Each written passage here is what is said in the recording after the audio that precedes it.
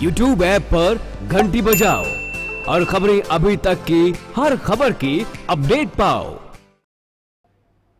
चलिए आगे बढ़ते हैं। हरियाणा पुलिस ने एक अहम निर्णय लेते हुए राज्य की स्पेशल टास्क फोर्स में तैनात कर्मियों की सेवा के दौरान मृत्यु होने पर उनके आश्रितों को दी जाने वाली अनुदान राशि को बढ़ा करके 50 लाख रुपए किया है। इसके अतिरिक्त दंगे या फिर अन्य कार्य में जान गंवाने वाले प्रदेश के पुलिस जवानों के बच्चों को पढ़ाई के लिए चार साल तक अधिकतम एक लाख रुपए सालाना राशि स्कूल शुल्क प्रतिपूर्ति के रूप में प्रदान की जाएगी।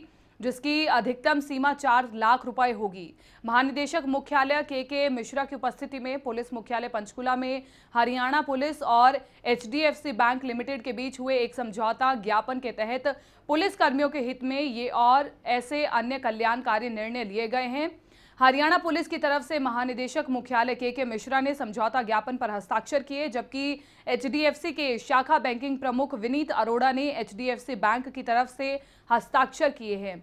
इस अवसर पर बोलते हुए डीजी मुख्यालय के के मिश्रा ने कहा कि बैंक के साथ हुए गए नए समझौते के तहत अब स्थायी विकलांगता होने पर पुलिस कर्मियों को 30 लाख रुपए का मुआवजा दिया जाएगा।